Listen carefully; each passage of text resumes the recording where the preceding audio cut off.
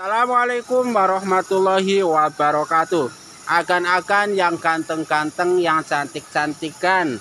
Salah satu pohon yang biasa tumbuh di pinggir sungai seperti ini Adalah pohon ketapang nih kan ya. Cuman kebetulan pohon ketapang ini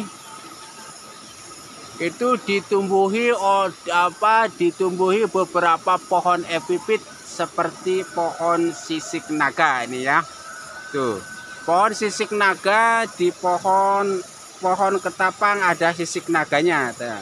sisik naga di pohon ketapang nih ya tuh.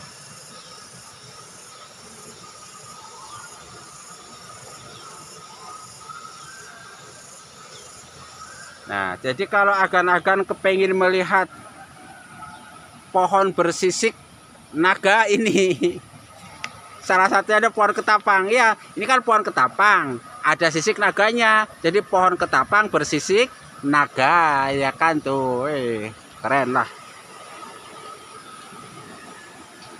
Ya pohon ketapang bersisik naga